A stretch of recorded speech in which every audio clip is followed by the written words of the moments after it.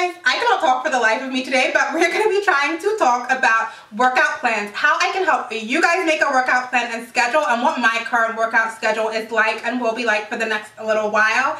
Um, frog in my throat. I get asked this all the time. And so I figured I would have a quick little tip video sit down help you guys out. Whether you're on a weight loss journey or a fitness journey the same thing applies. So I'm gonna give you guys my best tips.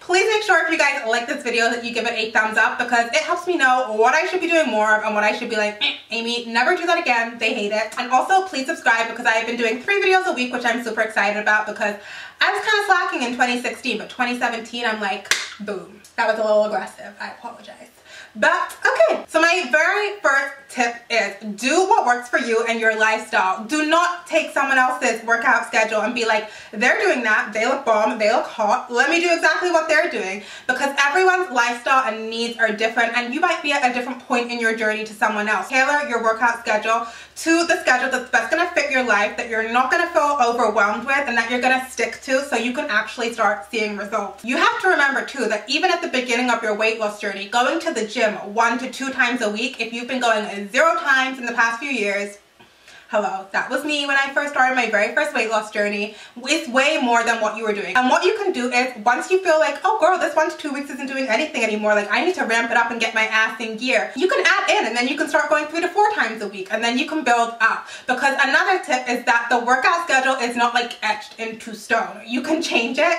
It's okay. It's not like some manuscript it's not like the holy bible that cannot be changed. You can change it and adapt it to suit your needs, how your body's responding, and also your time. And also change can be good because switching things around here and there can also stop you from plateauing, which I know a lot of people suffer from. Number four is be realistic. Don't try to throw yourself in at the deep end. I say this in all of my videos. Zero to 360 is way too much. You're not gonna be able to keep up with that schedule you set for yourself and you're gonna lose the motivation. You're gonna feel bad because you should be going to the gym six times a week if that's what you've said and you're not going. So make it realistic for your lifestyle. I also think that wherever you are in your fitness journey, everybody needs that mental break and everybody needs a rest day. Working out seven days a week is not realistic in my opinion at all. And also not only your mind needs that like day off to just do whatever the hell you want, enjoy yourself. Have a cheat meal, girl. You go have that cheat meal. But also your body needs the time to recover, to heal, to have that break. It can't just be like grinding into the ground. So in your workout schedule, at least allocate one rest day because